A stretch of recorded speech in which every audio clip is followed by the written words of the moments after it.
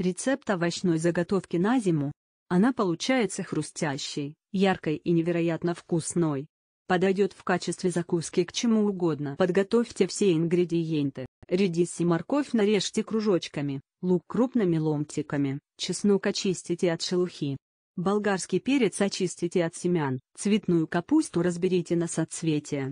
Нарежьте овощи крупными ломтиками. На дно заранее стерилизованной банки выложите лук, морковь, цветную капусту, болгарский перец, редис и чеснок слоями. Для маринада добавьте в воду соль, сахар, перец горошком и семена кориандра.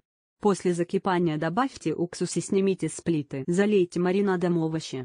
Закройте крышкой, переверните банку вверх дном и оставьте до полного остывания. Овощи на зиму готовы.